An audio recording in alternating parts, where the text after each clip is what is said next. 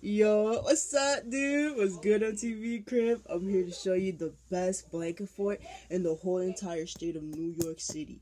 So here we have it. Boom, boom! Yeah! What's up? Over here we got the slides. Over here we got the TV. We got everything in here. Back there we got the tech room.